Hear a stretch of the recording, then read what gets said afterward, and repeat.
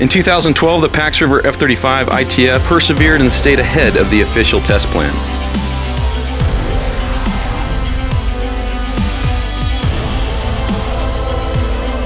Because of the hard work and dedication of everyone on the team, the F-35 BNC models continue to make history and go where they have never been before.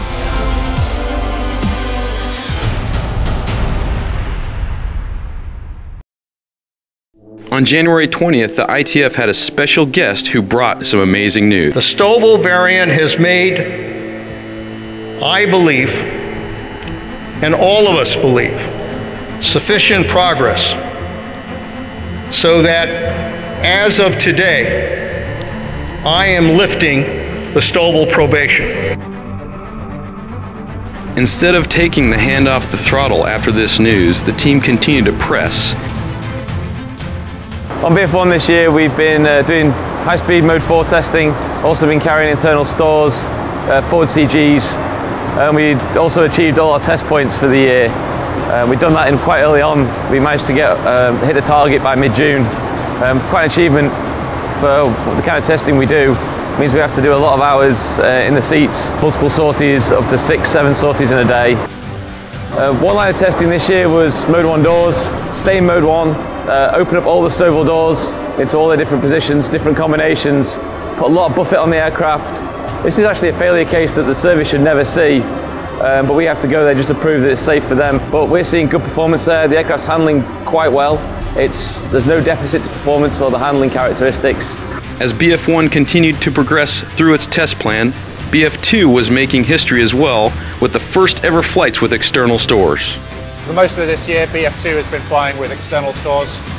We've completed a lot of flutter and flying qualities work with the AIM-9X, air-to-ground pylons, and also with the gun pod loaded to the centre of the jet. Generally, we've seen very good performance with the external stores loaded to the aircraft. This has been great to allow other aircraft to go and do other work with similar configurations.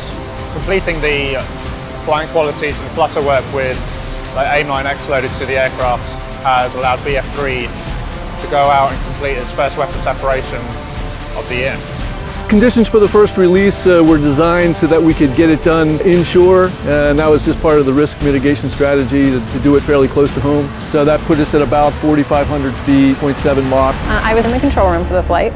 I was looking at the Mach, the altitude, and other essential parameters to make sure that whenever the pilot actually pushed the pickle button, we were where we needed to be. On the day of the event, Echo Control vectored the aircraft and the pilot onto the hazard pattern.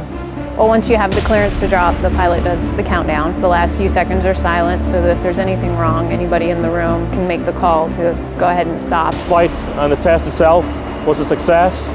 We can move forward to the next separation events on the program. CF1 and CF2 performed the first ever C model formation flight, which is an important part of getting this jet ready for the fleet. It was a good flight. Um, we already knew that the airplane handled well. We confirmed that with flying an aircraft carrier recovery sort of profile, uh, in addition to a couple other um, sort of standard formation tasks. Navy and Marine pilots who fly this airplane are really going to like the formation handling qualities. It's very pleasant, very easy to fly in formation. Then this summer, CF2 became a predator of the night and flew the C model's first ever night mission. CF2 performed the taxi landing light evaluation flight test. We did a lot of learning. We recognize that a lot of the mission of the airplane will be at night once the airplane is fielded, and so uh, we think that's an important part of testing, and we're anxious to get going with more of it. The objective was to evaluate its effectiveness and evident aircraft obstruction. It was a successful test. The pilot gave us very good feedback, gave us a lot of ratings for the various data that we were looking for. BF2 continued its exciting testing that took the jet and team out to Edwards Air Force Base to conduct air start testing. Uh, we basically took it out to Edwards for uh, risk reduction. They've got the dry lake beds out there surrounding the airbase and we can use them in emergencies if we couldn't get the engine started for any reason. When we came up to the actual testing itself, we made sure we had um, all the subsystems pre-positioned so we were getting the power we needed to keep the aircraft flying whilst the engine was off.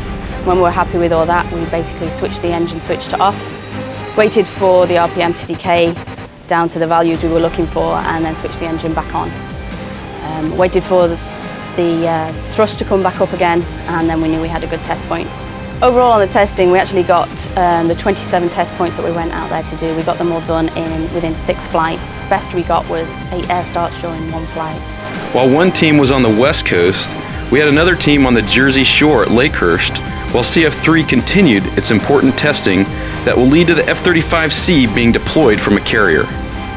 CF3 this uh, past year, we got quite a bit done. Spent a lot of time up at Lakehurst this year. Uh, with some changes to our tailhook design to continue a battery of ground roll and test work.